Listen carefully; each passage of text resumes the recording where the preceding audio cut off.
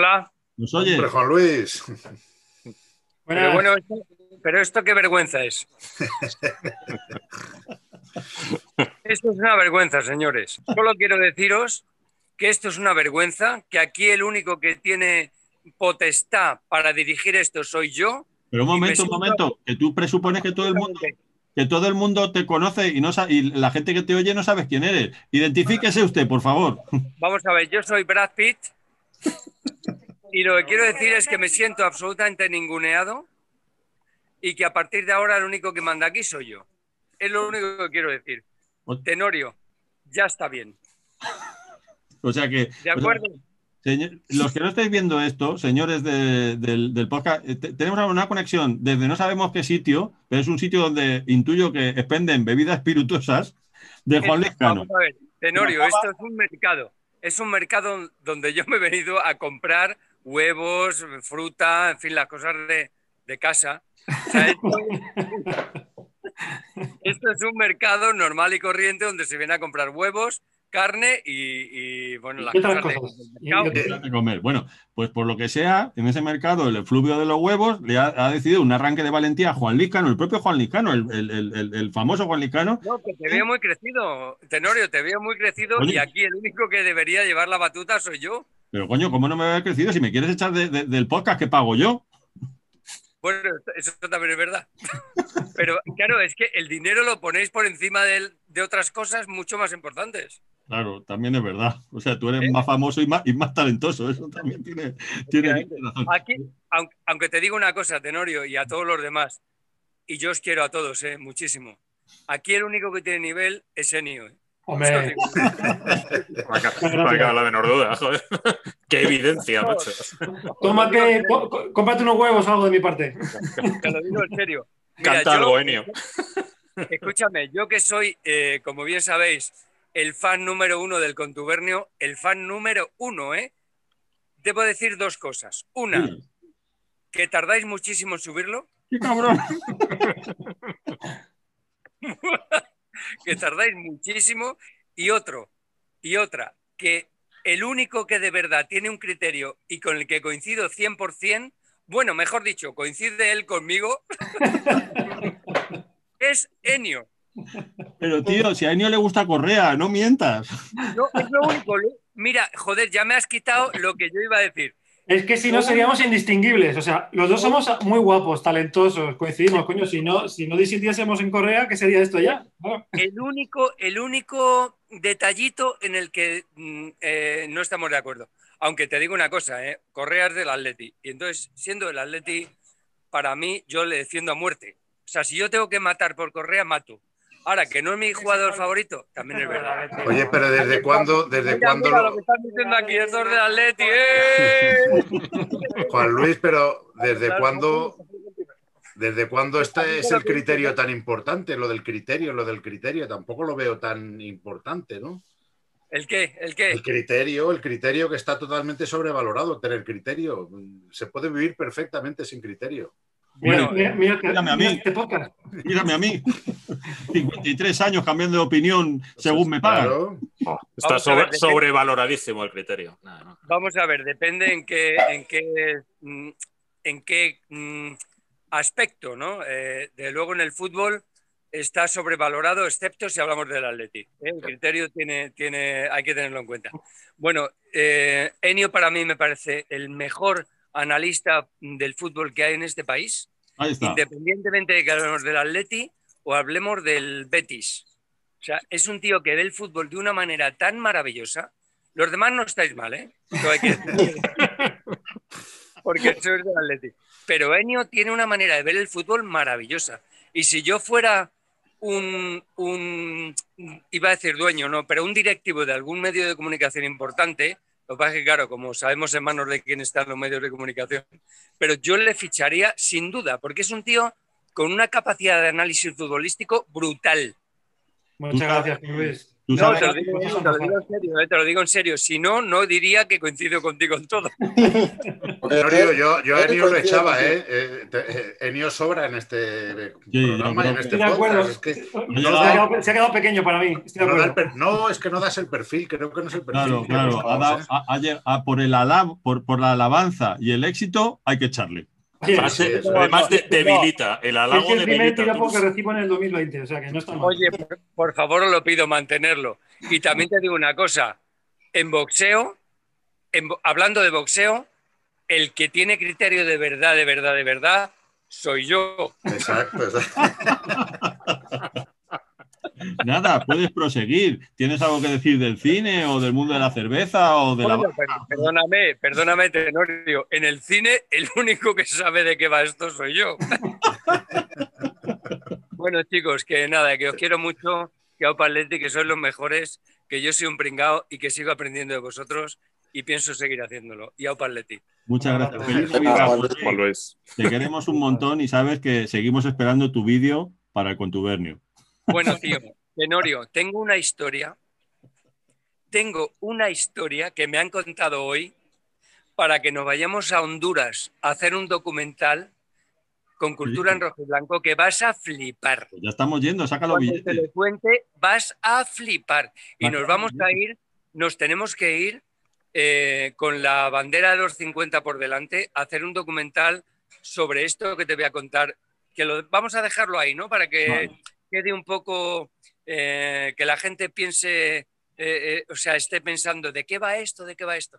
Vale, vale. Vas a flipar. Pues y nada, tenemos que convencer a los 50 para irnos a hacer un documental de esto, porque es una maravilla. Pues no se hable más. Eh, eso está hecho. Bueno, Juan Luis, amigo, un abrazo. Muchísimas gracias. Feliz Navidad. muy bien. Y Chao. besos para todos, especialmente a. Enio, ¿eh? Gracias, gracias, hasta luego. Adiós, adiós, adiós. Adiós. Hasta luego. Enio Correa es porque era Atleti, ¿eh? pero porque era Atleti solo, ¿eh? porque. Venga, hasta luego. Hasta luego. Adiós. Bueno, pues no podíamos empezar mejor el, el episodio de esta, de esta semana. Eh, Oye, qué crack, pero, pero ¿dónde estaba? Si, si es de noche. O sea, es de noche. Y, y- y para él era de día. O sea, Yo le estaba diciendo, "Co- corre hacia la luz, pero joder, suena mal, ¿sabes? Huye, tienes la luz ahí, tío. ¿dónde No, está? como la, la entrada, era la entrada de un. es la entrada. Está en el bar de Carlos, en el cuarto y mitad. Está. Ah. Ah, Sí, en el otro de los Bombivan. Bueno, pues ¿sabéis lo que os digo? Que voy a tratar de convenceros para que no me echéis de mi propio programa. Así que Está bien. No, pero si puedes bien seguir, tú pagas y eres como mm, eh, productor ejecutivo, una cosa así. Ah, se te vale, pone, un- O sea se te que pone un- soy como una esos- etiqueta bonita, joder. Claro, como esos ricos que se pagan su propio programa Eso. para que todo el mundo hace caso solamente por el dinero. Bien, pero tengo algo más para vosotros. ¿Qué diablos? Es una ver, locura, pero podría funcionar. Sabéis que durante muchísimo tiempo hemos estado en este programa buscando a Yoli.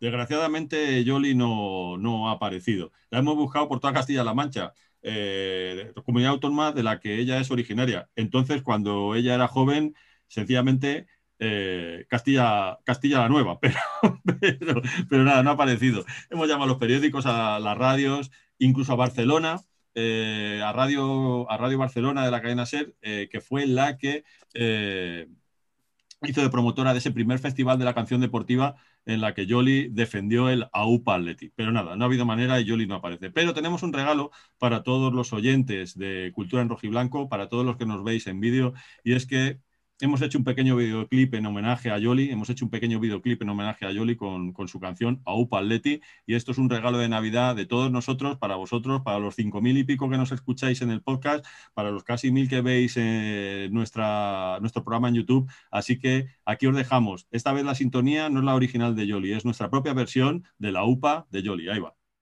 Hola, queridos amigos de Cultura en Rojiblanco. Ya sabéis que nuestra sintonía es el UPA UPA de Yoli, que todos canturreáis cada vez que ponéis el podcast. Bueno, hemos buscado a Yoli por todos lados, pero desgraciadamente no aparece. No sabemos dónde está la buena mujer. Hemos buscado por Castilla-La Mancha, por todos los lados. Nada, no aparece. Pero aún así queremos dejaros un bonito regalo navideño. Así que, atentos, porque los 50 y Cultura en Rojiblanco os presentan el UPA UPA de Yoli. Para ella, donde esté y para todos vosotros, este regalo de Navidad. ¡Aupa Leti!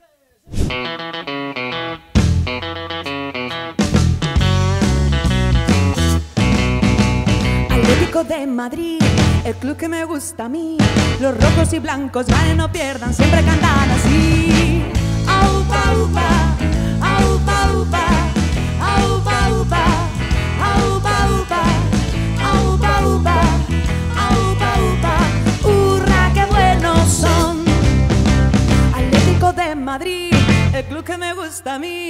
Los rojos y blancos ganen o pierdan, siempre cantan así. Aupa, upa,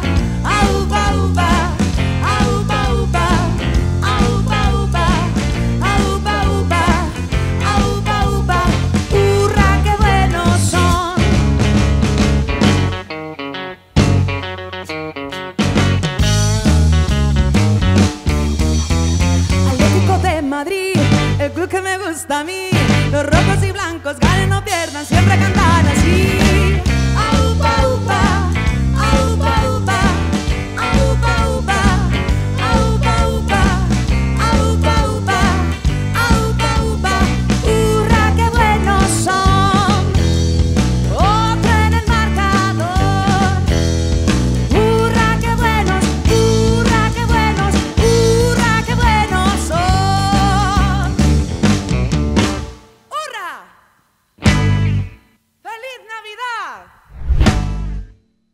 Bueno, ¿qué os ha parecido?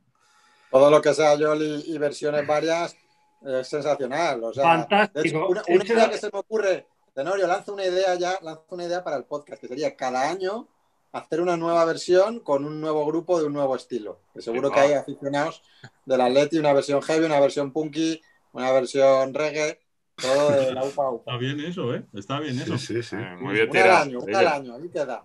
Una Y de, aquí, y de aquí a 10 años la, la ponemos en una recopilación, la editamos, nos podemos forrar, hacemos una gira por. Soria.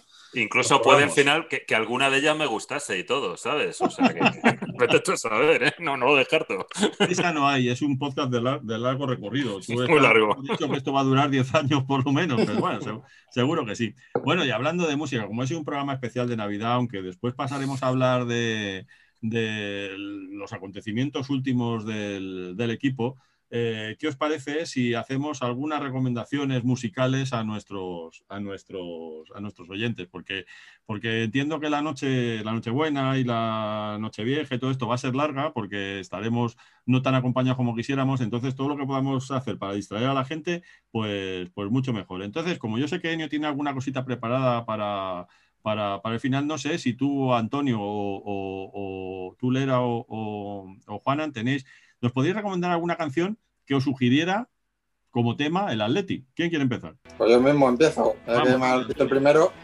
Bueno, yo tengo una como. eh, y ahora que hay que mencionarlo mucho, todo lo del partido a partido. Y habéis visto, por cierto, las ruedas de prensa de Simeone que están siendo gloria bendita.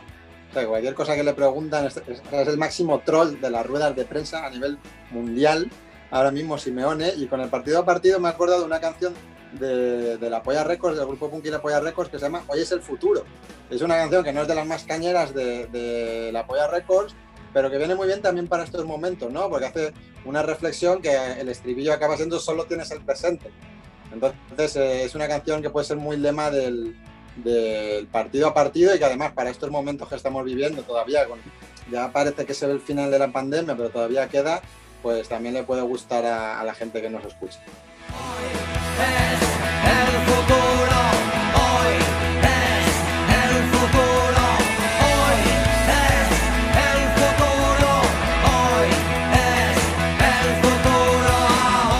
Ahí está escuchándose un poquito.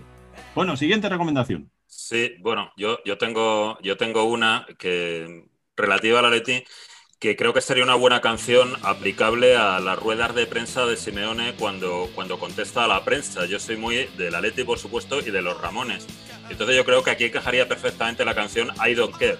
¿Sabes? O sea, repetitiva, machacona, con un mensaje claro. Yo creo que encajaría perfectamente. I don't care about that girl. I don't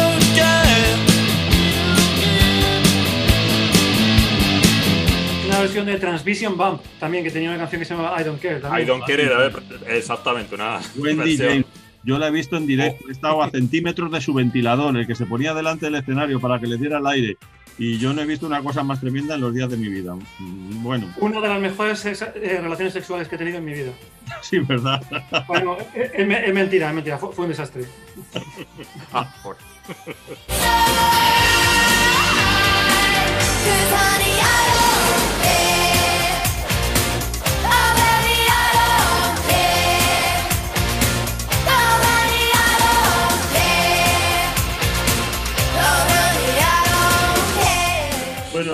¿y tú qué nos recomiendas?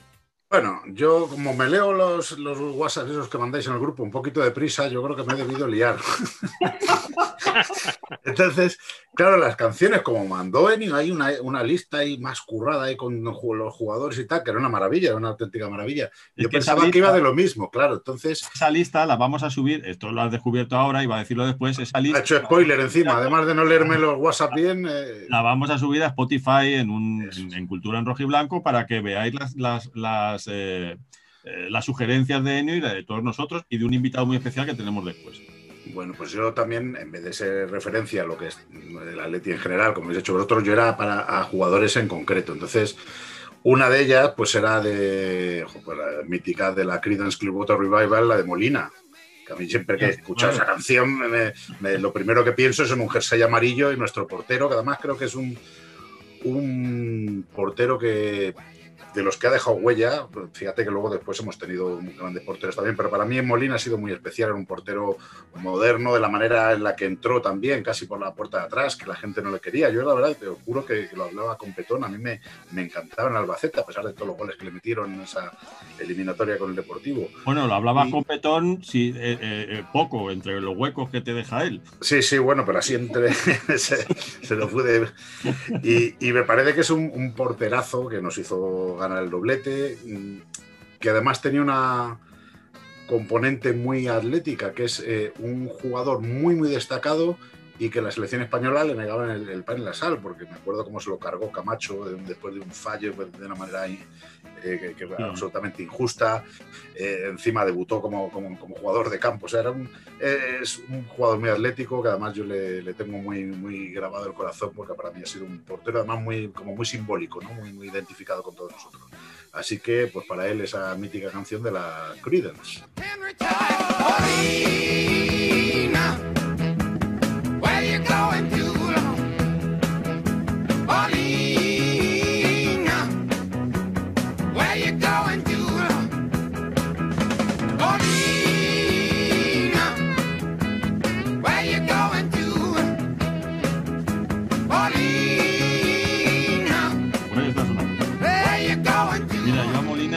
llevo en el corazón por, un, por una anécdota que sucedió en un desplazamiento del Atlético de Madrid en el que en el aeropuerto se sintió un leve terremoto. No recuerdo dónde era, pero mientras que estaba la expedición eh, esperando para coger el avión, hubo un terremoto en el aeropuerto. No sé si era en Bucarest o vete a saber, en cualquier país de estos que nos tocaba cuando jugábamos la, la- la UEFA. Y, y entonces el terremoto duró tres o cuatro segundos y la periodista se acercó y le dijo, Molina, eh, ¿qué se te ha pasado por la cabeza en estos tres o cuatro mi- minutos, eh, tres o cuatro segundos que ha durado el temblor? Y dijo Molina, y esto es así, ¿eh? No lo sé, no pienso tan rápido. Maravilloso. Era bastante borde. Con, eh, con- Pero borde con ingenio, tenía un puntito ahí muy... muy... Sí, sí, Tenía- pero, pero era bastante. Era, o sea, que- no sé si. Yo creo que era un aposio, probablemente era una forma de ocultar su timidez, pero sí que resultaba Eh, eh, eh, como eh, arisco con la, con la prensa. Eh, Era un, era un poco, no, era un poco así, o sea, absolutamente. Yo recuerdo el primer partido de, de- de la temporada del doblete contra la Real Sociedad, ganamos 4-1 y, y la gente quiso, o sea, es decir, el Frente Atlético quiso, o la grada sur, la grada del Fondo Sur quiso apodarle Loquillo. Y entonces empezaron con Loquillo, saluda al frente, Loquillo, tal.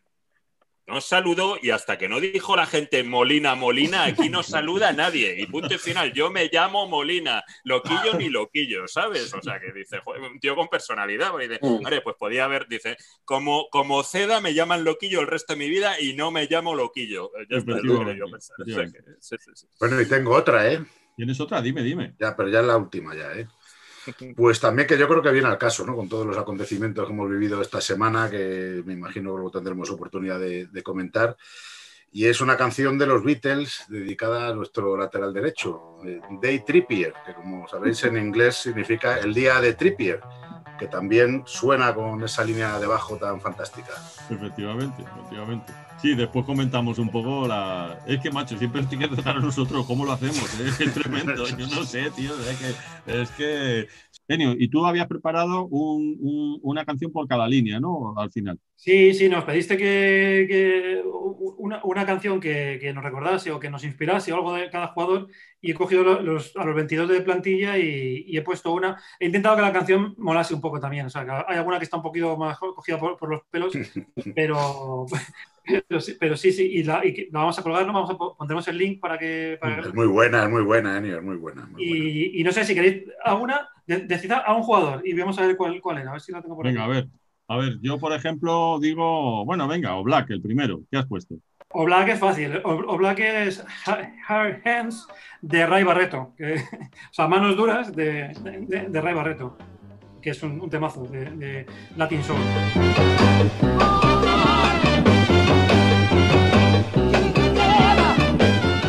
Ah, decid vosotros otro. A ver, ¿qué es lo que es? Venga, Torreira. Torreira, Torreira era de los más difíciles, macho. Torreira he puesto, he, he puesto The Unknown Soldier de, de los dos. El- And it's all over for the unknown soul. Y a mí, a ver, Lemar, Lemar. I'm a Believer. Then I saw her face. Now I'm a believer. Not a trace of doubt in my mind. I'm in love. I'm a believer. I couldn't leave her if I tried. ¿Y tú, Juanan? Sí, Carrasco, ¿qué tienes? Carrasco, ¿a quién he puesto a Carrasco? A ver, ¿dónde está Carrasco? Está el suplente. Ah, no, he puesto My Before and After de, de, Co- de Cotton Mother. O sea, mi, mi antes y después. Ni antes y después. Qué bueno, qué bueno.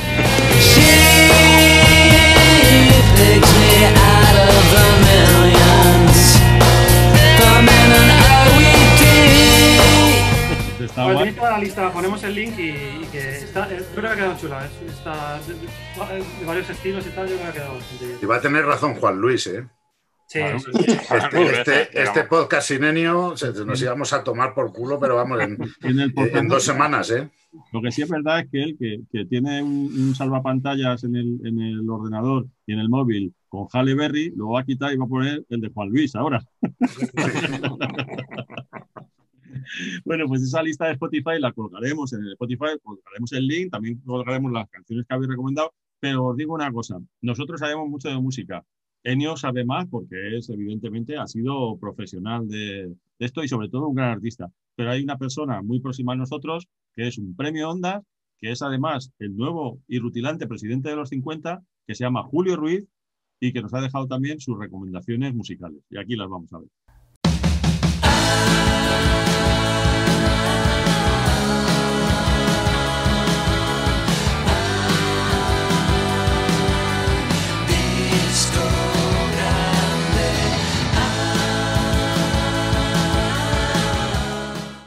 Hola, ¿qué tal a todos los fieles de este podcast? Para responder a estas preguntas que tienen que ver con el fútbol y la música, con nuestro atleti y con canciones más o menos favoritas que rimen con el brillante desempeño de las cuatro líneas, portero, defensa, centro del campo y delantera de nuestro atleti. Y en la portería, Jano Black. ¿Y qué canción le va como anillo al dedo? Pues Security que podría haber puesto la versión de Otis Redding o de Aretha Franklin, pero me quedo con la de Eta James. Reparar en lo que dice la letra. Seguridad es lo que quiero. Sin él, una gran pérdida. No quiero ningún dinero ahora. Vamos, que rima totalmente. Seguridad total. Sin él, ¡puf! a rezar, con todos los respetos para nuestros respectivos porteros suplentes, y que no queremos dinero. De hecho, parece que lo hemos rechazado en alguna que otra oportunidad. Lo que pasa es que es una canción de amor. Security, Eta James, para Black, nuestra portería. ¿Qué? ¿Para dónde Black? ¿Qué? ¿Para dónde Black? ¿Para dónde Black? Pero bueno, Chicharito fuera. No me puedo creer. Qué barbaridad. Una triple. Qué barbaridad. Imposible. Vamos con la defensa y me voy a fijar en pues en Felipe, en Savic, eh, incluso en Hermoso, que parece que es medio central, medio lateral, y me voy a fijar en una canción de Guided by Voices y una canción que se llamaba Be Impeccable, o sea, ser impecable. Hay un trocito de letra que dice exactamente, eres impecable, siempre estás ahí, o sea que con eso está dicho todo.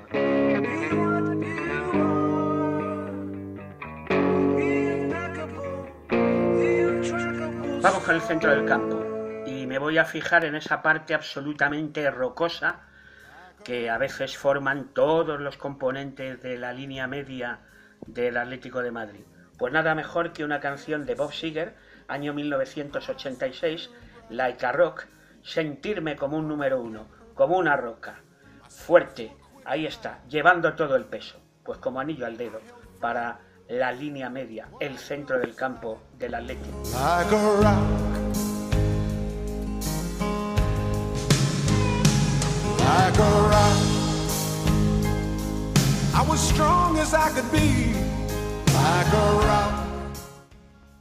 ¿Y qué nos queda?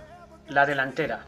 Pero fíjate, en este caso no me voy a referir ni a Luis Suárez ni a Diego Costa, que son los que están ahí en el vértice del ataque que se decía antes, ahí arriba y que son los goleadores, sino aquellos que a lo mejor partiendo de situaciones más retrasadas, corren y corren y corren la banda y le dan el centro, pues eso, o a Luis Suárez o a Diego Costa.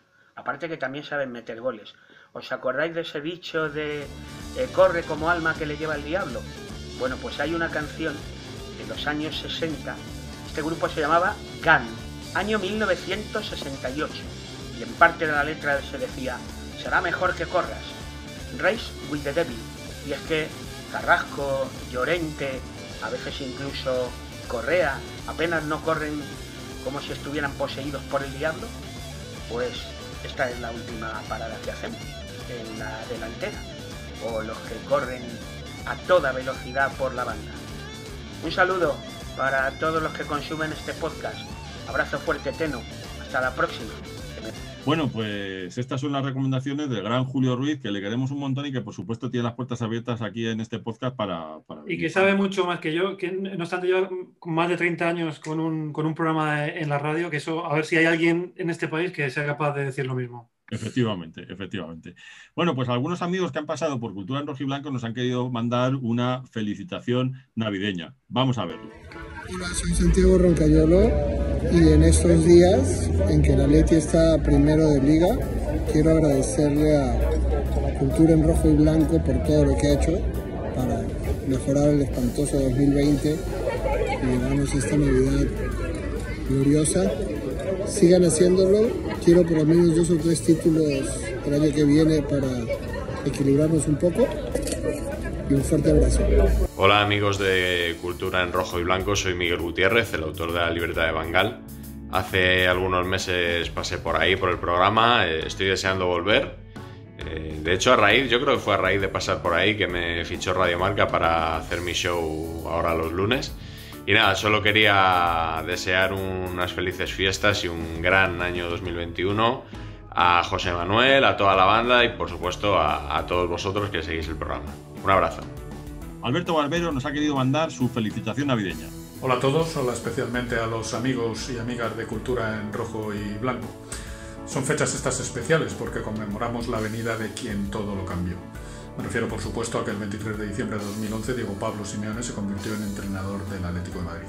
Así que son días para la celebración, son días para estar con los nuestros. Feliz Navidad, próspero año, que sea mejor que el que se marcha, que tampoco será tan complicado, que nos sigamos escuchando, que nos sigamos leyendo, que nos sigamos riendo. Un beso para todos, un fuerte abrazo, feliz 2021, feliz Navidad. Y Javier Olivares. Hola, eh, deseo una feliz Navidad con este vídeo a todos los oyentes de Cultura en Rojo y Blanco. Les deseo un año 2021 menos apasionante que el 2020. Salud por encima de todo y que disfrutemos de nuestro equipo, del Atlético de Madrid y que sobrevivamos a, todas las presiones que vamos a tener eh, a todos los asuntos eh, y sobre todo que ganemos esta liga y que ganemos cada partido, pero jamás, jamás de penalti injusto ni en el último minuto, que la ganemos bien, porque si las cosas no se ganan bien, no se ganan en, en buena lid. Feliz 2021 y antes feliz Navidad. Eh, cuidaros, eh, a los mayores más, cuidarles también y un abrazo muy grande. Hasta siempre.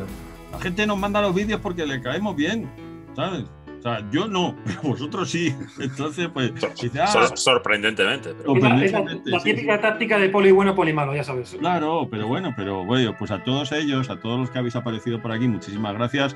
Habéis sido unos invitados, a todos los que habéis estado y los que no habéis podido mandárnoslo o que no lo hemos pedido porque nos pareció un exceso. Pues bueno, pues muchas gracias por este año, por este año tan raro de Cultura en Rojo y Blanco, en el que la verdad es que ha sido el mejor año de las tres temporadas. Está siendo el, mejor año en cuanto a audiencia. Lo que nos gustaría es que fuera también el mejor año en vernos juntos, en hacer esos directos que hacíamos antes en algún local, que tenemos muchísimas ganas de tomaros una cerveza con todos, con todos vosotros y de, y de vernos, de vernos físicamente. Bueno, pues un día más que me pierdo el Cultura porque tengo que estar aquí en Radio Marca trabajando por los especiales de Navidad y de Año Nuevo. Ya sabéis que hay que levantar España como sea y yo soy la primera que curra para ello, pero no quería perderme este último podcast del año 2020 sin dejaros mis recomendaciones. Me pidió José Manuel Tenorio que asociara una canción a un futbolista y en- lo primero que pensé fue en el álbum Sgt. Peppers de los Beatles y en el futbolista eh, Albert Stavin del Liverpool que aparece en, esa portada, ¿no? Entre todos los, los personajes que, que aparecen dibujados en esa portada del mítico Sgt. Peppers de los Beatles. Y también pensé en uno de mis bad boys favoritos, en Vinnie Jones, y en Lucky Star, la canción de Madonna, que aparece en una de las escenas de Snatch, Cerdos y Diamantes, dirigida por Guy Ritchie, una de las escenas en las que aparece Vinnie Jones y suena en el coche que va conduciendo el Lucky Star de Madonna. Os recuerdo que por aquella época, cuando se rodó esa película, Madonna y Guy Ritchie, el director, estaban casados. Y es por eso por lo que él tiraba tanto de la música de su mujercita. Pero finalmente me he decidido por Robin Friday. Robin Friday, que ya podéis ver que llevo puesta su camiseta porque hace unos días se cumplió el 30 aniversario de su fallecimiento. Era un futbolista con un talento excepcional. Algunos afirman, yo no porque no le vi jugar, pero algunos afirman que era mucho mejor que George Best e incluso que Maradona, pero que su afición por los estupefacientes y el alcohol pues acabó truncando una carrera que prometía ser muy exitosa. El caso es que mm, Robin Friday es todo un icono pop, ya podéis comprobarlo por mi camiseta y además se ha convertido en, en también un icono para el grupo granadino Apartamentos Acapulco. Yo por eso he decidido asociar a Robin Friday a una canción que aparece en este disco que se llama La mujer y el monstruo y que siempre que la escucho pues me acuerdo de- del bueno de Robin Friday, aunque también podía haberlo asociado con el It's Friday, I'm in Love de los Cure, que para algo es la sintonía de la Deporteca. Y en cuanto a mi jugador favorito del Atlético de Madrid y la canción que asocio al jugador o al equipo, pues en un principio pensé en Juan Carlos Pedraza, que fue el ídolo de mi infancia, que llevaba el número 7 y a mí me encantaba. Pero tengo que confesar que desde el primer instante que vi a Diego Pablo Simeone con la camiseta del Atlético de Madrid, me enamoré perdidamente de él y de su fútbol, de ese fútbol aguerrido que tanto me gusta, más allá del talento ¿no? que se pueda tener para leer los partidos, que él lo hace muy bien como técnico. Y mm, hay una canción de los Rolling Stones que se titula You Can't Always Get What You Want y que la letra viene a decir algo así que muchas veces pues no puedes tener todo lo que quieres pero si lo intentas, si perseveras algo que dice también mucho el cholo eso de dale dale que al final sale pues al final puedes conseguir lo que necesites. Así que me quedo con esa canción de los Rolling Stones You Can Always Get What You Want y me quedo también con todos vosotros los que veis el podcast de Cultura en Rojo y Blanco que sigáis la cultura del Atlético de Madrid y que sigáis también pues apoyando al equipo, a todos los equipos de todas las categorías del Atlético de Madrid, que el año 2021 pues tenemos que seguir eh, intentándolo, ¿no? Como dice el Cholo, dale, dale, que al final sale, que no siempre puedes conseguir lo que quieres, pero al final puedes lograr lo que necesitas. Pues un abrazo a todos y por Leti y feliz año. ¿Qué coño ha pasado con Tripier? Porque yo todavía no me lo explico. Pues ahí está, de, de Gambler, ¿no? Pues, Hablando de canciones. Kenny Rogers, tío, total. Ken- Kenny Rogers, no sé, tío. Pues, pues, tío, lo que dices, eh, si tiene que pasar algo raro, pasará aquí. Pasará, tío, o sea, no te efectivamente. digo, Siempre, si- si- si- siempre la Leti. Mañana por la mañana dicen, hoy eh, de cada 10 personas, dos se caerán, uno de ellos es jugador del Atleti. Hombre, Claro, es está. Tenorio, es, es una genialidad y para nosotros una, una putada. Pero, o sea, la historia como, como tal, si es así, es, o sea, que el tío, Pero cuando ya sabe hacer- que va a fichar por el Atleti, apuesta que va a fichar por el Atleti. O Pero sea, podéis hacerme no- un resumen porque yo no me he enterado. Me he enterado o sea, esta tarde. Esto se supone, se supone que es lo que ha o- o el motivo de sanción es este, que luego eh, no se sabe si tendrá pues, su derecho alegaciones, no sé exactamente cómo funciona con la normativa, porque además le sanciona la Federación Inglesa que lo, lo eleva a la FIFA para que la FIFA incluso puede eh, empeorar la sanción. O sea, que es un tema que, que está complicado, pero vamos, la, la historia, si no fuera uno del Atleti y no nos afecta así como nos afecta, yo diría, esto es, esto es una locura de clásico jugador inglés que hace locuras. O sea, me parece una, una cosa apoteósica que, como tú dices, solo puede pasar en el Atleti al final, estas, estas historias. O sea, esto es, una- es impresionante. Y, pero bueno, pues luego lo, lo que comentaba Enio al principio, que, que al final el gran perjudicado es el Atleti, porque la sanción que parece ser que le ponen a él tampoco es gran cosa y el Atleti pierde... pierde 75.000 libras, o sea, que, es, que, es que no es, efectivamente, para un futbolista 75.000 libras no es una, no es una multa excesiva, vamos, o sea, es que lo paga tranquilamente. Eso con tres combinadas que haga lo saca, ¿no? No, eso suena, suena a, sujeta, a sujétame un cuba, el cubata en toda regla, ¿sabes? O sea, de repente está ahí con otros ingleses, jaja, no, no, no te atreves, ¿eh? no hay huevos a, a apostar a que, joder, que no. Hombre, la verdad. De, de hecho, Dios, es ¿qué he hecho? ¿Qué he hecho? ¿Sabes? De hecho, es peor porque creo que, eh, no lo sé seguro, eh, pero me parece que no es él el que apuesta, sino Te que lo le dice un colega, sí, sí, sí. que apuesta, dice, oye, apuesta que me voy a la Leti, le, le dice. Hay un precedente, hay un jugador del Liverpool, Stadrich, creo que Está fue, rich. Sí, sí, sí, sí. así que es. le pasó lo mismo, pero, pero encima este eh, lo hizo mal, porque, porque se fue luego a otro equipo, que iba a venir a Sevilla y, y acabó, en, a- acabó en Turquía y, y también le pillaron y estuvo un montón de tiempo fuera de... sí, sin, po- sin poder jugar. O sea, hay, hay un precedente. Sí, y que, que de hecho se recurrió y, y le puso mal la FIFA todavía, o sea, y puso más sanción, Sí, que iba con como con dos, dos meses y le puso seis o algo así, ¿sabes? Y entonces dijeron, "Ca- joder, casi mejor no hablar, ¿sabes? ¿Para qué habrá hablado? Pero, la verdad es que, es que Trippy tiene, tiene una pinta de personaje salido de Lock and Stock, la película de Will Ritchie, que Sí, tira para atrás. Exactamente, no, no. es- y, que- es una, y, y- y es un acontecimiento de ese tipo de películas, ¿sabes? Claro, de, claro, de ro- claro. de rock and roll y cosas de estas, ¿sabes? Y además estas cosas suelen coincidir, este tipo de sanciones, cuando mejor está el jugador, porque cuando ha estado Sí. más flojo no le sancionaba a nadie. O sea, es los mejores partidos que está haciendo ahora Trippier es cuando le cae la sanción y además coincide además con el con el partido del Chelsea, que también eso a lo mejor puede dar que puede dar que pensar, ¿no? Que decir que lo pone la, la Federación Inglesa la sanción, que es una cosa que tampoco sé si está muy bien tipificada o no eh, para estos casos, pero ¡pum! cae justo para que no juegue contra el Chelsea. Y, y coincidiendo con que no juega la selección inglesa. ¿sabes? Sí, si, sí. Te, si te pones a pensar, dices, joder. Ya, pero, pero en cualquier caso, yo no sé, tú que eres abogado, Edilla, eh, es- este tipo de decisiones que traspasan fronteras y que, no sé, no, yo, yo lo veo todo rarísimo, ¿sabes? Es una, una decisión de la Federación Inglesa que puede afectar a, a- un trabajador en España, no sé, me suena raro, porque no es una, no- digamos que no, no es una sanción eh, judicial, es una sanción federativa, ¿no? Federativa, a ver, no, yo no, no controlo, no controlo el derecho deportivo, así cómo, y cómo afecta de una federación a nivel internacional, ¿no? No sé si lo que, no sé si lo que hace que se puede aplicar en España es lo que comentaban de que lo, de que lo eleva a la FIFA, que en ese sentido sí que podría tener validez. O sea, no sé si ese es el camino o sea otro. No, normalmente se respetan todo ese tipo de, de sanciones, ya sea por, eh, por, yo qué sé, por un positivo en un dopaje, por cualquier cosa de esas, todo lo que es eh, federativo, pues eh, a través de FIFA se respeta, pues si no, a lo mejor un jugador eh, agrede a uno, le pega un puñetazo, le caen 27 partidos y dice, bueno, pues voy a jugar a otro, a otro sitio. Claro, pero No, cuando, cuando- las sanciones cuando se, dices- se- cuando se dices respetan. respeta, te, te refieres a que, a que lo da por válido. O sea, Sí, sí, sí, que efectivamente. esa, sanción la tienes que cumplir independientemente de que te vayas luego a otro país a Es jugar. que hay, hay un tema un poco oscurillo de fondo desde mi, desde mi punto de vista, y es que el, la justicia deportiva está en manos de, de- de la UEFA o de la FIFA. Es, es un mono- es un monopolio. Hay muchas veces que siempre se dice, esto va- vamos a recurrirlo a la justicia ordinaria, que es la verdadera justicia. eh, y- y- pero nadie, nadie se atreve a hacerlo porque como el monopolio lo tiene la, la- la FIFA o UEFA, si, si- si recurres a la justicia ordinaria te, te bloquean o te, o te- o te expulsan de las competiciones. O sea, siempre amenazan con eso, no hay ningún precedente.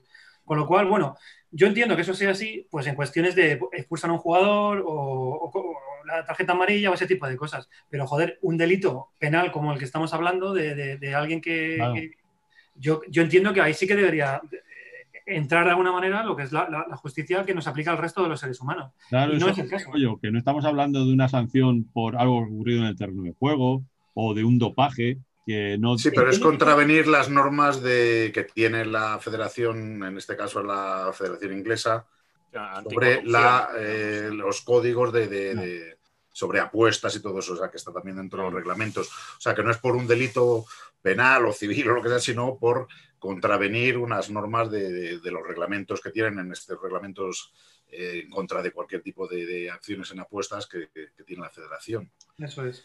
Bueno, y Pues hablando de reglamentos, no, dime, dime. No digo que, que- que siendo así no, no puedes alegar, o sea, no, no puedes, o sea, no puedes vehicularlo por un procedimiento legal tradicional, porque no es así, o sea, es lo que quiera, si, si la Federación Inglesa lo eleva a la UEFA o a la FIFA, pues va a ser lo que digan ellos, y no, no vas a tener forma de, de salirte de ahí. Y no Ok. sé, a mí me parece, yo, yo es que esa, el, el tema del, de que el- un organismo como la UEFA o la FIFA sea ta- todopoderoso en todos los aspectos de la vida me, me- me da, me da pavor, la verdad, o sea, porque Sí, está sí, es- completamente en sus manos. todopoderoso. Hablando de reglamentos, nada, un, dos minutos que tampoco le vamos a dedicar más tiempo a, a los vecinos, ¿sabes? Pero de verdad es que hay que tener muchísimo valor y muchísimo coraje. Ojo, lo estoy diciendo como un mérito y me descubro ante, ante este hecho. De los huevos de Florentino Pérez a ir allí y decir que se sienten que se sienten maltratados por el arbitraje y por los periodistas. Pero- ole, ole y ole. Y es que es Pero has maravilloso. visto una cosa, Tenorio, que esto ha sido como la canción de, de- la canción aquella de la Revolución Cubana de, y en eso llegó Fidel. Y mandó se acabó la parar. diversión, Se acabó la diversión, Llegó sí, el comandante y mandó a parar. O sea, ha llegado, ha dicho, oye, eh, esto eh, no puede ser así. Y de repente está el Madrid ahí arriba, todo, eh, le perdona la mano al otro, todos los periodistas, sí, sí, sí, el Madrid, la Sí, no. el Berry". Joder, este hombre, pero- la boca. Pero es así, Edilla. O sea, co- con, la mano de Ramos es que era un concurso de ver quién decía la tontería más gorda. No, está en posición natural. No, no, es que está pegada al cuerpo. No, es que si salta, no es mano. Bueno, yo aquí, yo aquí me vais a perdonar, yo aquí voy a romper una lanza. Yo creo que, que lo de la mano de, de Ramos y la justificación de que eso es natural y penalti hubiera ocurrido aunque Florentino no hubiera dicho nada. No, no, por supuesto. Sí, sí, pero no con este nivel de, de agresividad seguramente y, y de escalada de estupidez. O sea, porque era, no, venga, a, a ver qué dice el siguiente. No, no, no, no. Es que, a ver, si empieza el apellido por R, no es mano. O sea, no es mano. Y también hay una, están haciendo un paper, como se dice ahora, ¿no? Es una, una revisión científica. Eh, yo es que tengo un amigo que es, que es físico y que está en, el, en la universidad, en la Carlos III, bueno, está en varias universidades. Y entonces parece ser que hay una circular FIFA también para que los físicos definan lo que es contacto. Ojo, cuidado, ¿eh? Porque si no hay mezcla molecular, no es contacto.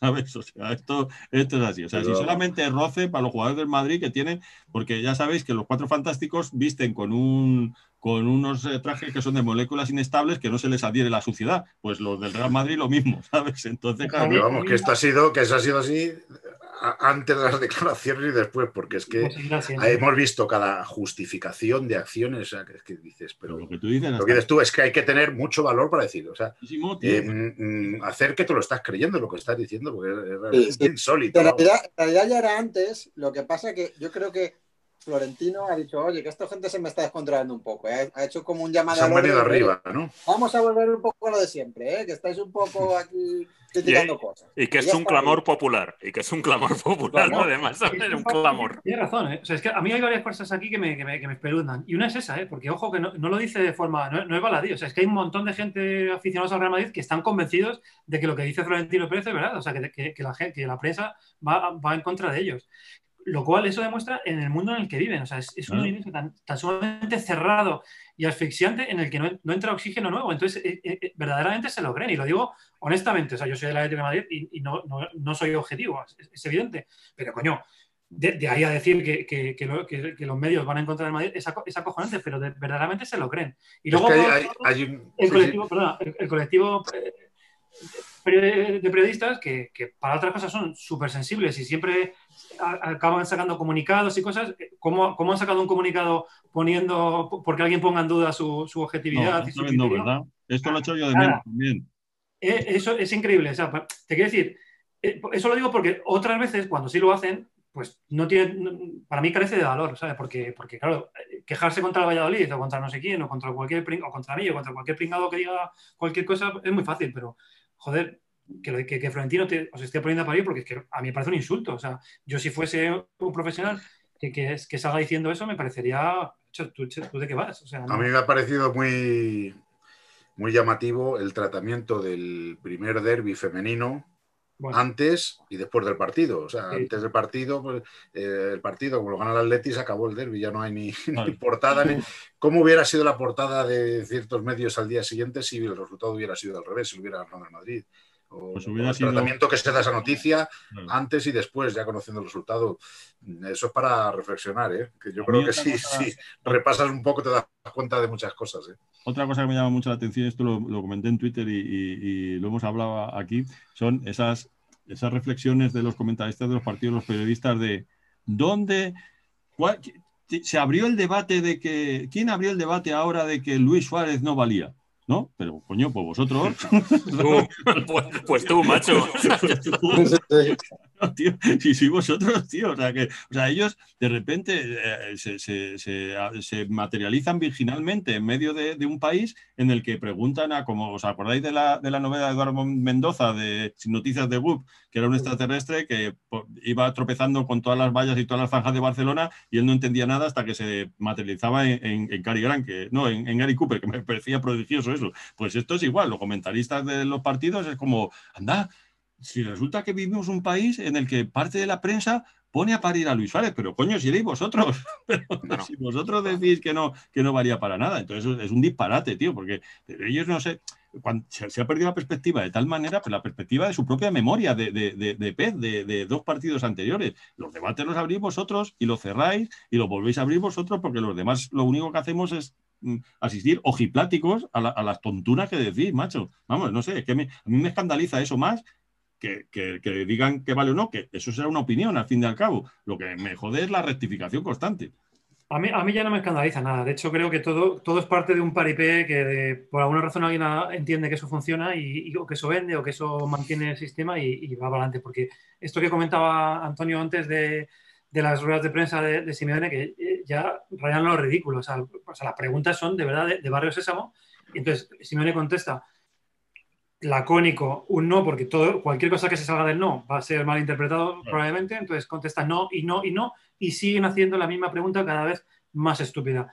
Yo creo que es parte de, por alguna razón entienden que eso es lo que, lo que mejor funciona eh, en eso que llaman sección de deportes de, lo- de los telediarios o, o de, o de los boletines de noticias. Alguien ha decidido que eso es lo que funciona, puede que, que tenga razón y, y todo lo demás da igual. Pero, raya, raya lo ridículo y no puede ser que lo hagan sin querer o que, o que sea algo, no sé, de casualidad, es casualidad. Que conste que todo esto estamos diciendo aprovechando que Natalia no está para que no nos regañe. No nos riña.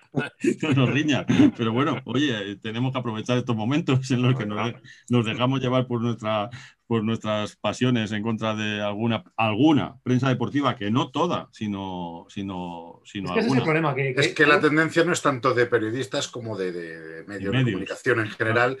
Ocurre en, en el fútbol, ocurre en la política, que esa, esa parece que la manera de vender no es tanto la objetividad o la información, sino el dar de eh, lo que quieren que escuchar o leer los, los lectores, que están claramente además eh, Sí, claro. eh, metidos en, grupos, o sea, de, de izquierda a derecha, del Atleti, de, de los Barcelona, pero que a mí me da pena, porque yo, también como periodista, porque yo me he educado en otro tipo de prensa que era totalmente distinta.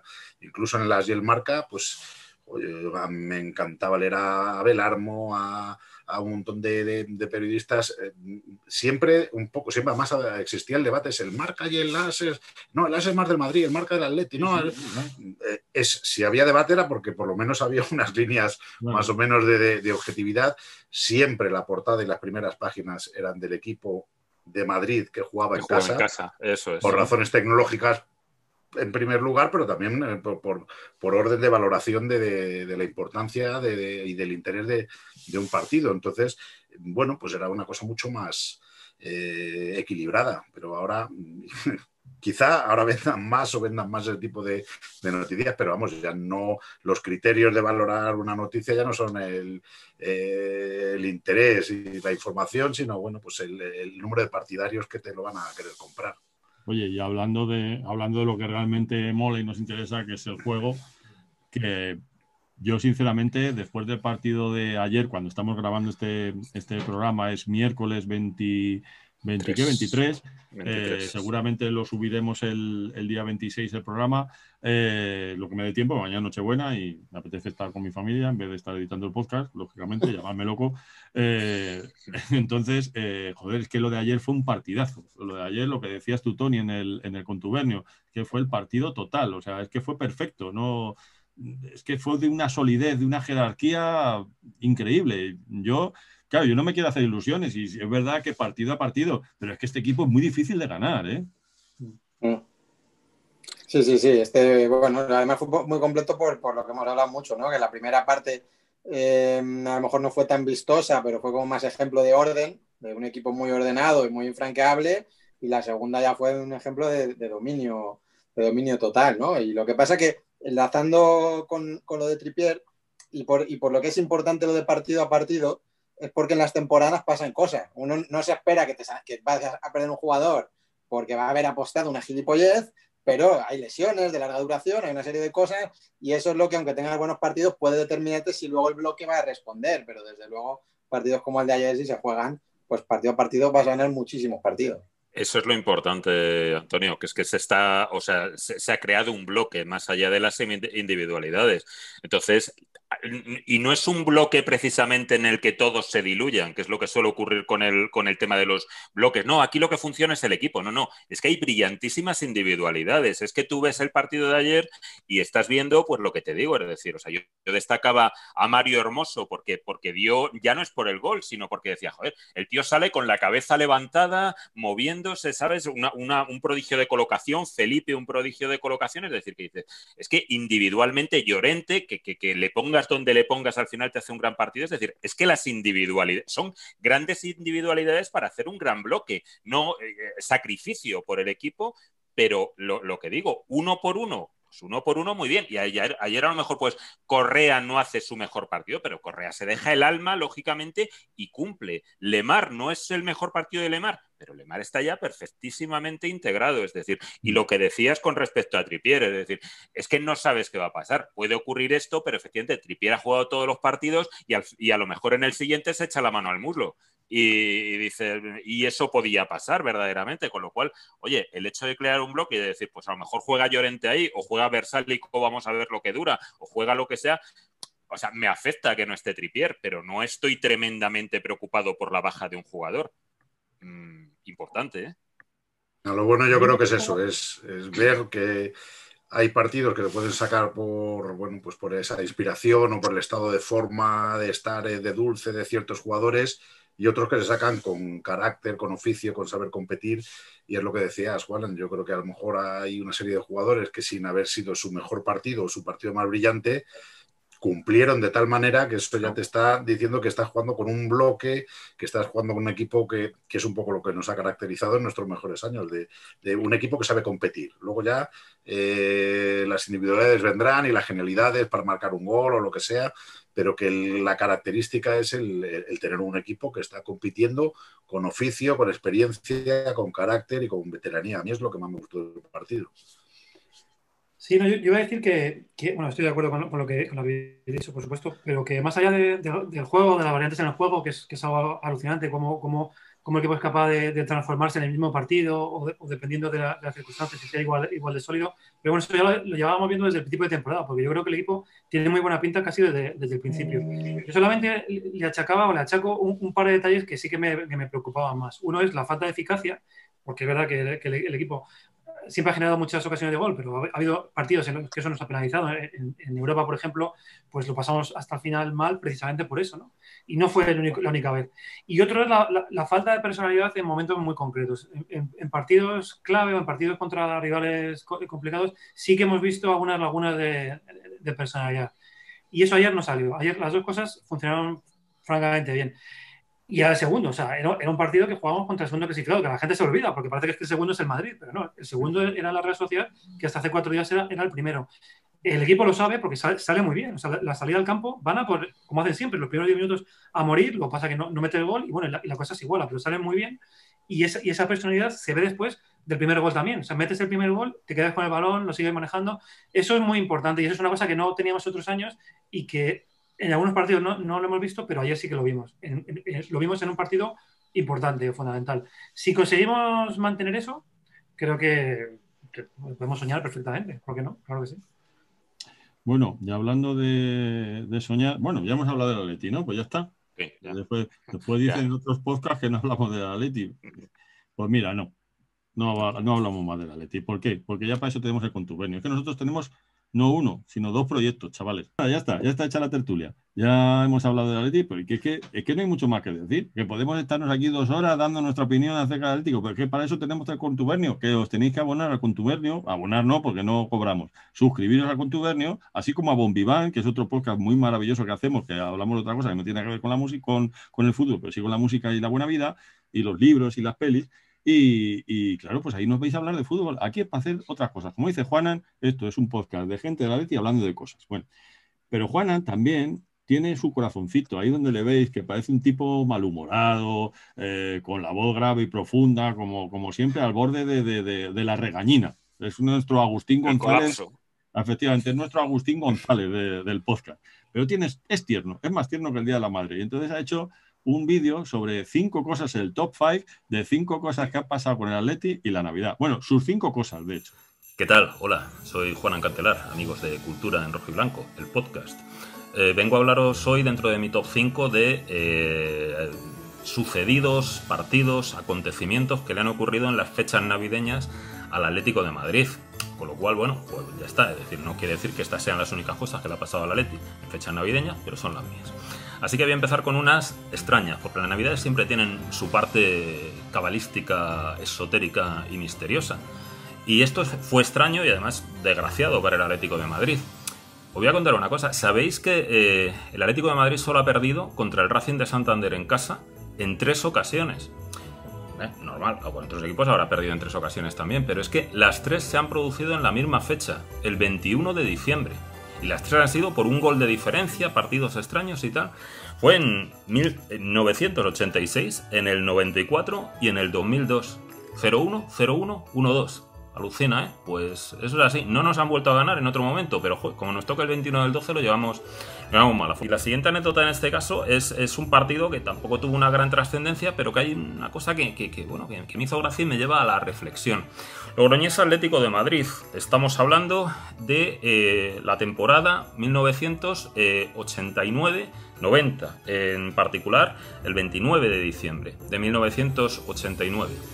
Eh, Futre marca un gol, bueno, como tantos. Pero es que Futre marca un gol sin la bota puesta. Bueno, pues ilegal, así, así, es decir, si fuera madridista diría que lo metió con la espinilla, no con la parte de la bota. Entonces, pero bueno, de acuerdo con el reglamento, que yo sepa, esto es ilegal. Pero lo más curioso de todo y lo que quiero invitar a, la reflexión a la gente es eh, el jugador de Logroñés, o sea, perdió la bota Futre porque el jugador de Logroñés le pisó le pisó, pero no, no le hizo, no le derribó, no le trastabilló ni nada, sencillamente le pisó con sutileza y la bota salió volando. Entonces luego Futre marcó y dices, claro, pero eso es falta. Pisar a un jugador y que salga la bota volando es falta, porque claro, le inhabilitas para que marque el gol. Futre estaba completamente solo, llega, pa, le visa, sale la bota. Entonces, es como, yo que sé, un jugador que, que tiene la habilidad de, de- de- de, sin hacer falta, con leves agarroncitos, quitarle la camiseta, quitarle la camiseta al rival. Y le dice, estás en camiseta, así que no vale lo que haga. Es curioso, curioso. Lo cierto es que, bueno, el gol se concedió, Mazorra Freire. pés- pésimo árbitro y en esa y en esa ocasión pues eso no se dio cuenta o yo que sé sabe Dios. Lo cierto es que el gol subió al marcador el Atleti ganó por ganó por 0-2 me voy a, a otra a otra a otra fecha 23 de diciembre de 1984 Aquí es, es un día en el que mm, Vicente Calderón, yo salgo, eh, aunque el Atleti ha ganado el partido, salgo triste del campo. Y salgo triste del campo ¿por qué? Porque la afición del Atlético de Madrid aquel día me pareció extremadamente cruel con un jugador que desde luego tuvo un rendimiento bajo en el Atlético de Madrid, pero que decía, joder, que, es, que, es el día 23 de diciembre, que este tío tiene una cena de Navidad mañana. Yo en, mi, en- mi mentalidad infantil yo decía, joder, pobrecito y tal. Y yo salí mal, era Enrique Morán. Enrique Morán vino del Barcelona mm, gratis de estos jugadores, pues bueno, como imitando fórmulas como la de Marcial o Landaburo en los años anteriores en los que venían jugadores ya pues en una edad eh, ya, bueno, pues, avanzadilla y tal, sencillamente, y a ver qué tal salía. Morán no salió bien, metió un gol en la liga y creo que otro en la copa, un poco mal, pero ese día el hombre lo intentó todo, lo intentó todo absolutamente, es decir, y era, o sea, era patético, era ridículo lo que le estaba saliendo, es decir, recuerdo, se iba en solitario hacia la portería, pisaba el balón y se le quedaba atrás, intentaba hacer un pase lo daba mal, y, la gente, o sea, se estaba mofando literalmente de él, se reía. Entonces, eh, yo, yo, claro, yo, yo en mi mentalidad, lo que digo, adolescente, infantil, eh, yo, pensé, joder, ¿cómo será la cena de Navidad? Este hombre mañana que se está riendo todo el estadio de él, ¿sabes? Que es el 31 del 12 de 1984. Eh, no es el Atlético de Madrid, o sí, es el Atlético madrileño en este caso. Eh, juega contra, contra, el, contra el Castilla y 31 de diciembre, un partido por la tarde, oye, por la noche pues la fiesta, la jarana y tal. Pero aquella tarde, el Atlético de Madrid empieza perdiendo 0-1 contra el Castilla, el Castilla de Pardeza como gran estrella en este caso. Y en la segunda parte, en los últimos 20 minutos, el Atleti lo borda, marca un gol Cuevas de chilena, eh, brutal, desde, de- además casi desde el borde del área. Marca Sergio después, el Atleti remonta. Y en los últimos minutos ya marca un chicharro que no he visto nada ni parecido, o sea, en, en- en el Calderón impresionante, Tomás segundo desde el centro del campo. Pero lo más gracioso de todo es que el portero, eh, Serna, el portero del Castilla, estaba en el punto de penalti, no estaba tan adelantado, ni muchísimo menos. ¿Qué va? O sea, eh, eh, y le pegó tal leñazo al balón de falta directa desde el centro del campo, desde el círculo central, que el balón parecía un misil tierra-aire. Así, y se coló, o sea, na- nada de la típica chorrada de, oye, va el balón desde el centro del campo, pero entra llorando o lo que sea, el portero está fuera del área. No, no, fue lo que se hizo un auténtico trayazo desde el centro del campo de Tomás Segundo y gol. Y luego ya voy a, voy a ir ya, la última anécdota, eh, el último partido, pues un, día muy especial, muy bonito, muy precioso, que fue el primer partido del año eh, 1977, Liga 76-77. El Atleti fue campeón de Liga. Y en el 2 de enero, eh, el Atleti le mete 4-0 al Real Madrid. Eh, con goles de dos de Rubén Cano, Panadero Díaz de falta, un gol brutal, y, y Bermejo. Y, eso, y así empezamos el año, así ganamos la liga, y el Real Madrid ese año no se metió en competiciones europeas, en ninguna. Y como diría en este caso, eh, mi amigo Lolo de Lo, eh, de, de Lion, perdón, amigo, de, amigo de la casa, pues diría, aquello fue la, la gozadera, de gozadera, no de la gozadera, de gozadera, fue el mamatorium y biberones for all. Bueno, no me sale, no me sale bien. Como tampoco me va a salir bien esto, es decir, os voy a despedir mm, para desearos feliz Navidad y tal, pero lo voy a hacer de una forma que me gusta, con muñequitos. Este es Saúl, este es Diego Costa. Entonces Saúl dice, Oye, ¿qué, vas a cenar, eh, Diego Costa? y Diego Costa dice, "Bueno, no sé, no sé. Yo voy a cenar una ensalada. ¿Cómo decías? No sé". En fin, que bueno, que no se me da bien tampoco lo de los muñequitos, ni eso, y ventrílocuo, ni mo- movidas de estas y tal. Que bueno, que tengáis muy feliz Navidad, que ha sido un placer estar con vosotros, con tu Berniers, y, y Caupaletti, leche. Caupaletti, y eso, eso no se puede perder, y venga, adelante. Y feliz 2021 y todas las cosas. Adiós. ha sido fantástico. Bueno, pues acabamos de ver esto, ha sido fantástico. Realmente lo del Racing de Santander es pasmoso, ¿eh? Es casi, Sí. casi un... Yo me quedo con las dotes de imitador de, de Juanan, que, que- que ha, nacido una estrella. Bueno, ya, ya era una estrella, pero que, crece y crece y es imparable. O sea, yo no sé hasta dónde puede llegar. Hay que hacer todo lo posible por, porque ese amigo que participa a veces en el contu- contubernio, eh, nuestro amigo Lo, Lo- ¿cómo, cómo, ¿cómo es? Porque nunca me- me- se me traba la lengua. Lolo Outlaw o algo así. Lolo, Lolo Outlaw. Lolo Outload, este, eh, se venga un día aquí a Cultura en Rojo y Blanco también a hablarnos de su, de su editorial y de sus cosas, que es un tipo muy, muy, muy Interesante. interesante. Sí, sí, no, es maravilloso. Hablaba de lo, de, de lo del cuarto milenio, es que hay un tipo que ando detrás de él, que tengo su teléfono, que es un youtuber eh, que tiene miles y miles y miles de seguidores, que habla de fenómenos paranormales. Él es físico de profesión, pero habla de fenómenos paranormales y es del Atleti. Y a veces sale a hacer el programa con la camiseta del Atleti. Y además toca todos los temas, todos los clásicos. Las caras de Belmes, las pistas de Nazca, los extraterrestres, los, eh, los reptilianos. O sea, todo lo que mola, pues él lo toca. Se tiene que estar aquí. A, a ver si nos saca del- de la duda con el Racing de Santander. Porque... Claro, claro. eso. De hecho, esto os voy a, os voy a contar, un- ya sabéis que cuando hacíamos el Cultural Rojo y Blanco presencial, nuestra intención era siempre llevar a gente de la Atleti a que contara cosas, igual que hacemos aquí, ¿no? Eh, no necesariamente sobre el equipo, que también, porque al final la gente de la Atleti acaba hablando del Atleti, pero sí gente que estaba vinculada con el Atlético de Madrid que viniera a hacer. Petón me, dije, me dice, esto es una historia, es, es así, Petón me dice, ¿sabes quién es del Atleti? Iker Jiménez. Es cierto, no, no, tengo, he visto una entrevista. ¿eh? de- ¿Es del Atleti? decía- sí, es del Atleti, decía, y que dice además precisamente si hay un equipo paranormal es el Atlético de Madrid. Claro, claro. Entonces, pues a eso va, ¿no? Entonces yo como, claro, yo como todo lo que me dice Petón, mm, me lo creo a pie juntillas, ¿sabes? Cojo y consigo el teléfono de Iker y le, y le llamo. Pero no hablo con él, hablo con Carmen Porter, que es su mujer y la, la, la copresentadora del, del programa.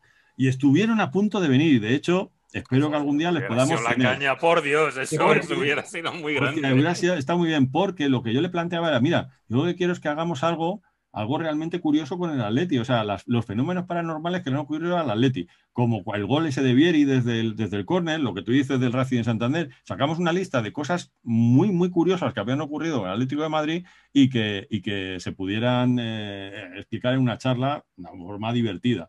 Eh, pero no hubo, no, no hubo ocasión porque ellos andaban con una gira que tenían eh, por museos del, del programa de Cuarto Milenio y tal, que lo petó en todos los sitios donde iban y no, no, no pudimos cuadrar fechas. Pero, pero, joder, molaría un montón el poder hacer esa charla con él porque, porque la verdad es que es divertido. O sea, es una cosa, pero, pero, pero muy, muy chula. Molaría, molaría que, que ocurriese.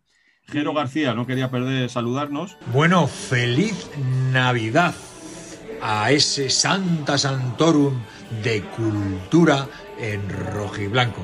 No os digo nada, que el año que viene sea mucho mejor que este, que creo que no va a ser muy difícil. Feliz Navidad, chicos. Aupa Atleti. Nuestra amiga Mónica Crespo. Mira que nos reímos en ese programa, ¿eh? Feliz Navidad, amigos de Cultura en Rojo y Blanco. Este año quiero pedir un deseo y es que por favor no dejéis de hacer atleti de la forma que lo hacéis. Sois súper necesarios y muy divertidos. Y Tenorio, a ver si alguna vez subís el contubernio cuando toca. Un besito a todos y a Upa Atleti. Mira quién aparece por aquí. Pancho Varona. Hola queridos amigos de Cultura en Rojo y Blanco. Soy Pancho Varona. Estoy aquí para felicitaros la Navidad, el año que viene, el siguiente y el otro. Os mando un beso muy grande y espero que paséis estos días lo mejor posible. Con todo mi cariño, con todo mi cariño, un beso para todas y para todos. Suerte, feliz Navidad y feliz año. Y por último, bueno, ¿qué le vamos a hacer? También nos ha mandado un vídeo a Plastar Teche. ¿Qué muchachos? Bueno, pues aquí estamos, Miguel, una vez más, aunque esta vez solamente venimos para felicitar las fiestas a los oyentes y colaboradores de Cultura en Rojo y Blanco. ¿Qué te parece a ti? Dices bien, a los oyentes, especialmente, que en algunos casos compartimos y poco a poco serán más, porque ya sabes que nuestra labor de zapa está funcionando, y a los colaboradores, colaboradores que también serán al final nuestros porque estamos en ello.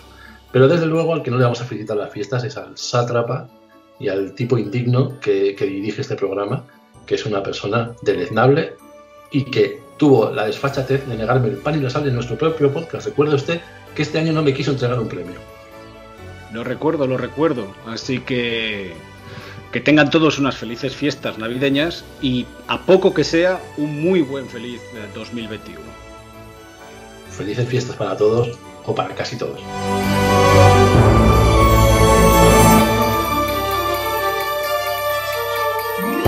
Mira que la guerra, ¿eh? Madre mía.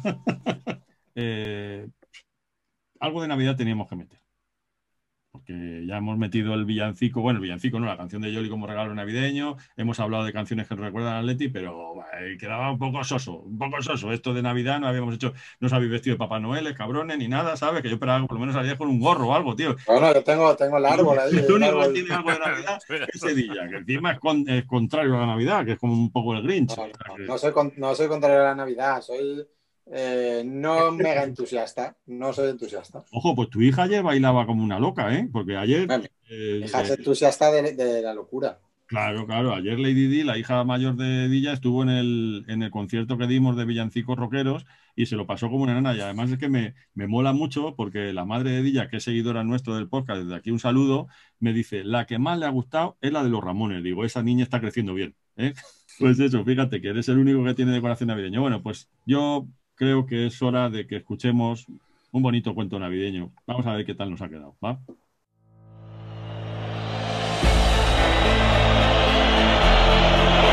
Penalti, penalti claro, tan claro que a pesar de que era el minuto 90 y Ramos el infractor, el árbitro no tuvo más remedio que pitarlo. Eso sí, con dudas y después de la revisión del VAR. Revisión que no fue fácil, porque justo en el momento en el que el central madridista se lanzó a morder a Joao en la pantorrilla, la imagen se desenfocaba misteriosamente. Durante 10 eternos minutos, el colegiado, sus asistentes y la sala labor intercambiaron opiniones. El árbitro se llevaba la mano al pinganillo de la oreja, con cara de circunstancias, pero el sangrante bocado en la pierna del astro portugués no dejaba lugar a la duda. Finalmente, el señor Babacán no tuvo más remedio que señalar la pena máxima. Desgraciadamente, el Real Madrid puede perder la final en el último minuto, exclamó apenado el imparcial narrador del partido. Los jugadores del Atleti se miraron unos a otros. ¿Quién iba a tirar el penalti? Gárate le dio la pelota a Torres intercambiaron algunas palabras. Luis y el Cholo desde el banquillo avisaron a Delardo para que se acercara a la banda. Todos parecían nerviosos, excepto Black, que era objeto de las bromas de Luis Pereira. Qué extraña pareja habían formado el esloveno y el brasileño. Grandes amigos dentro y fuera del campo. Amanda San Pedro les hizo una seña y junto con Futre se unieron al corrillo donde ya estaban Benbarek, Leiviña y Arteche. Todos los jugadores rodeaban en el área técnica a sus dos entrenadores.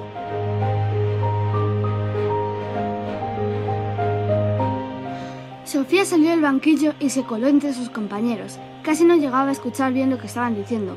Sofía era el fichaje fulgurante de esta temporada y con 8 años la jugadora del primer equipo más joven de la historia. La camiseta le quedaba un poco grande y siempre tenía problemas para atarse las botas, pero a ella le daba igual. Hoy era el primer día que iba convocada, justo el día de la final de la Champions.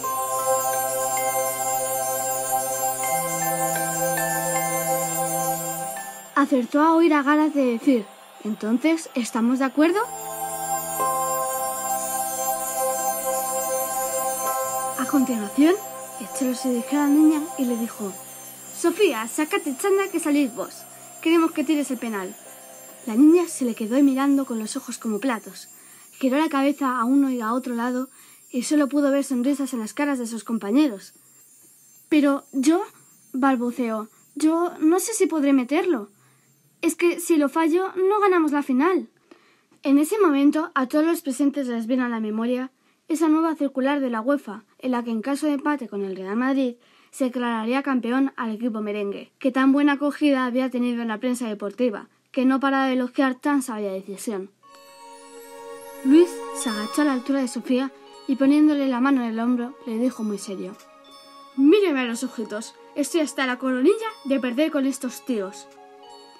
Salga ahí, chute como usted sabe y meta gol.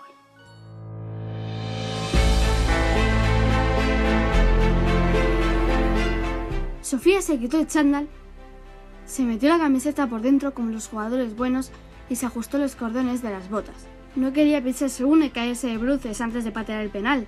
Imagínate qué ridículo. El cuarto árbitro señaló el cambio y el lesionado João Félix salió del campo. Le dio un abrazo a Sofía le susurró al oído. Benigna, no tengas miedo. La niña atravesó rápidamente el campo. Las gradas llenas de chinos vestidos de blanco la pitaban y abucheaban tratando de amedrentarla. Pero Sofía frunció el ceño y corrió aún más rápido hasta el punto de penalti. Torres a su lado posó el balón sobre el césped.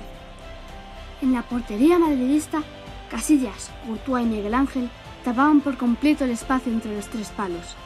Fue entonces cuando el narrador recordó el otro cambio UEFA.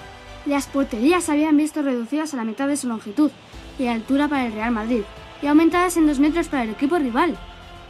Parecía una misión imposible encontrar un hueco por donde el balón pudiera pasar. Fernando la miró fijamente y le dijo, Da igual que lo metas o no, da igual que ganemos o no. Eso no importa, lo único que cuenta es que lo chutes con valentía, y no con la pierna, sino con el corazón, porque eso es el Atleti, como cantas con tu padre cuando pasáis por donde estaba el calderón. Recuerda, coraje y corazón.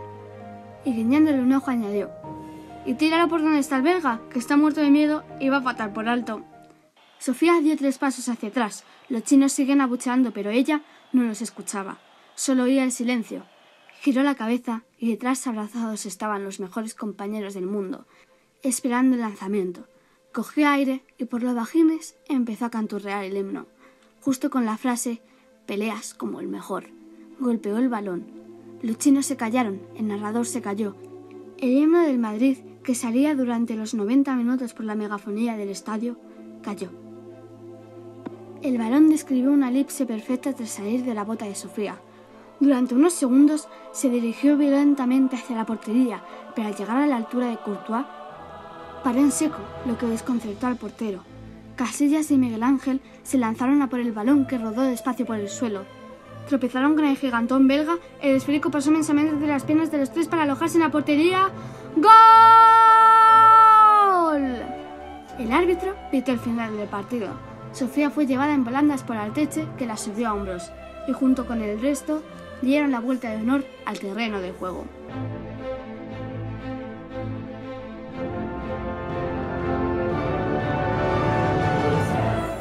Empezó a nevar y pronto el césped se cubrió de un manto blanco, solo coloreado por las camisetas rojas y blancas, que a bolazos de nieve se divertían celebrando el triunfo. No todos los años se gana la Champions el día de Navidad. Sofía, agotada y feliz, se quedó dormida en el banquillo, arropada por el cholo, que le dejó su anorak para que no se quedara fría.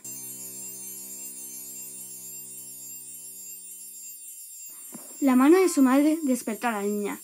Vamos, Sofía, arriba, que es Navidad. ¿No quieres abrir los regalos de Papá Noel? Abrió los ojos y se estiró bostezando. Saltó de la cama y fue derecha al salón donde pudo ver un montón de paquetes bajo el árbol. Su padre se rió al verla todavía somnolienta. Papá, estoy agotada. He tenido un sueño increíble. Jugaba en el alete y metía el gol de penalti que nos daba la Champions. Y, bueno, no sé, era maravilloso. Estaba Torres, Gárate, Futre, todos los buenos que tú me dices. ¿Y el pato Sosa? No, ese no. Buah, entonces tampoco eran tan buenos, respondió el padre burlón.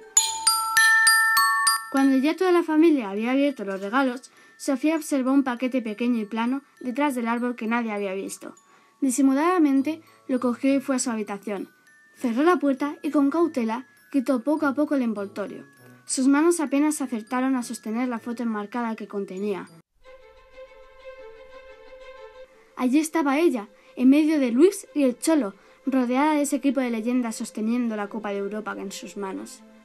La ventana se abrió de golpe asustándola un poco, y por el patio interior subió el sonido del himno de la Leti procedente de la radio del vecino. Un tintinear de cascabeles y una risotada profunda le hicieron mirar al cielo. Sofía sonrió y recordó las palabras de su padre. La Navidad es de la Leti. Si no, ¿por qué Santa Claus va de rojo y blanco? Y es que cuando su padre tenía razón, tenía razón.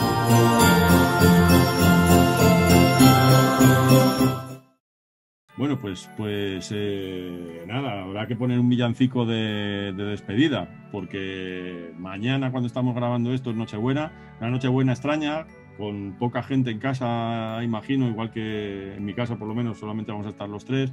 No sé si os vais a juntar muchos o no. Eh, una- un año muy raro, unas navidades extrañas. Un equipo raro también el Atleti en estas últimas, en estas últimas semanas, pero en esta, en esta ocasión para, para bien. Y esperemos que, que se acabe esta mierda del 2020 y que el 2021 seamos mejor y que volvamos otra vez a vernos. Aunque, el, aunque el, el podcast lo sigamos grabando así, así en Zoom, que hemos descubierto que es muy cómodo porque somos señores mayores y nos cuesta desplazarnos, pero, pero sí que de vez en cuando reunirnos, echarnos una cerveza o, como decía antes, grabarnos grabar el, el podcast en directo, que es algo que nos, que nos apetece un montón en, en aquel sitio de, de contexto que, que creo que han sobrevivido y que seguramente podremos, podremos seguir haciéndolo. O sea que, chicos, feliz Navidad, que, que nada. Igualmente, un, un lujo estar con vosotros, ¿eh? Muchas Sí. gracias. Yo no, sí. no- no os quiero tanto como, como, como Juan Luis Aenio, pero por ahí, por ahí ando. I- Iba a decir que a lo mejor podía ser lo mejor del 2020. No, no, que coño, lo mejor en mi caso. o sea, esto, esto es lo mejor que me ha pasado, ¿sabes? O sea que, agradecimientos. Pues lo puedes decir así un poco que, que suena chiste, pero no, no lo es, ¿eh? O sea, en los momentos más, más duros de- del confinamiento, el, el hecho de tener esto aquí una vez a la semana era como de repente una ventanita al mundo que, que- que- que recordábamos. Y, y aunque fuese a través de la pantalla, ver las caras, joder, era como, como, como refrescante durante... Era la, la única hora o dos horas que de repente se te olvidaba todo y te podías eh, divertir o, o pensar en otra cosa y echar una, echar una risa. Yo lo agradezco. ¿Recordáis de, de ahora que cuentas eso? Uno de los primeros que hicimos, que era cuando aplaudían a los médicos. Entonces estamos grabando y pasaban mis hijas, mi hija Sí. mayor gritando, ¡Viva los médicos! ¡Viva la sanidad! Como- Recuerdo, recuerdo los primeros que hicimos en este formato, que tú todavía ya no, no lo tenías muy, muy controlado, entonces, no sé, lo hacías en, en mitad del comedor y, y pasaba, pasaban las Sí, niñas no, y te el entonces tú estabas así, de la casa. con la cara súper serio y se oía el ruido de fondo de, de las niñas, era, era graciosísimo, sí. Claro, es que para vosotros es cómodo, pero para mí, con niñas pequeñas, era mejor ir grabar fuera, porque claro, en cualquier Mm. momento se ponen a gritar. Lo que pasa que ya llega un punto que dije, bueno, pues que griten, ya lo, ya lo editará, editará Tenorio. Y luego había unos contraluces muy tenebrosos de Juanan, ahí que se le veía como en la penumbra con he ca- he la mitad de la cara no, iluminada, la mitad no, Eh, en eh, penumbra. Eh, Eso es, eso es cuando era verano que entraba la luz, efectivamente, y se iba, y se iba saliendo aquí, pero que parecía un cuadro de estos del, del- me gustaba, de, ¿eh? de, de- de Caravaggio, ¿sabes? Y tal, o sea, de, el la- feísmo de Caravaggio, ¿sabes?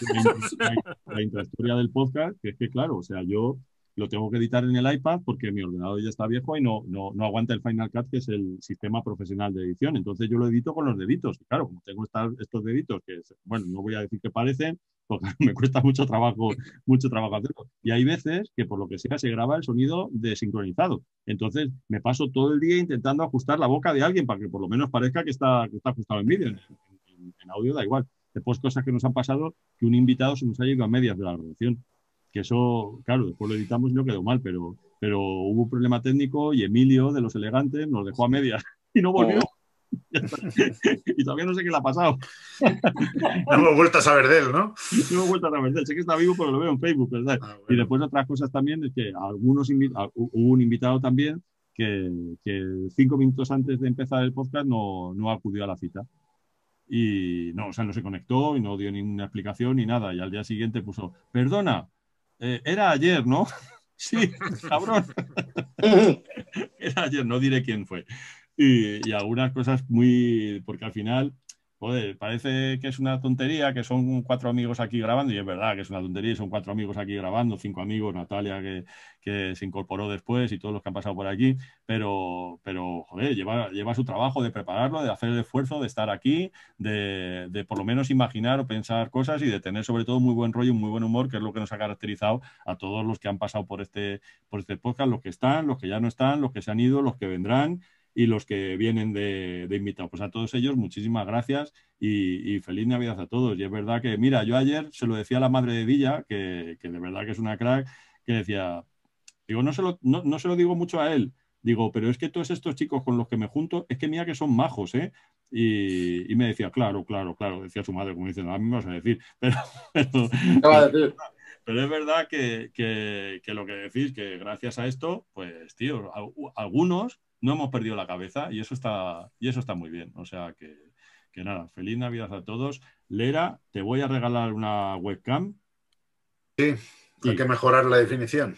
Sí. Y yo criticando a Juanan, ¿no? Pone- Sí, exactamente. Juanan está nítido, lo que está es mal iluminado, pero tú tienes un flu como Sara Montiel, que Para que no se me vean las patas de gallo. ni eso. Porque lo mismo, Sí, sí. no- lo, lo mismo es aposta, ¿eh? Parece, con el chándal aquí vintage, es, es- es como la, la, la, la Vanguard. Es, parece una tele Vanguard, ¿sabes? La, Una la- tele la- Funken. si la cámara es buena, lo que pasa es que lo hago con una media en la cabeza para que no se vea. No es a quién era la que hacía eso. Sara Montiel. Estas- Sara Montiel. ¿no? Ah, oye, que se me ha olvidado comentar también lo del corto de Luismi, que es un tipo al que todos apreciamos y queremos, Joder, el corto este que ha que, que le mandamos un gran abrazo desde aquí, que pronto le tendremos también, por lo menos, que nos diga unas palabras y un saludo para cultura en rojo y blanco y que nos cuente cómo lo hizo y si, y si tiene, tiene previsto hacer más cositas. Y un fuerte abrazo para él y para todo el esfuerzo que, que lleva a hacer un trabajo, un trabajo como, como ese que ha tenido muchísimo éxito en YouTube. Bueno, chicos, pues nada. A más ver, nos vemos pronto. Venga. Feliz Navidad, chicos. Feliz Navidad a todos. Felices fiestas. Sí.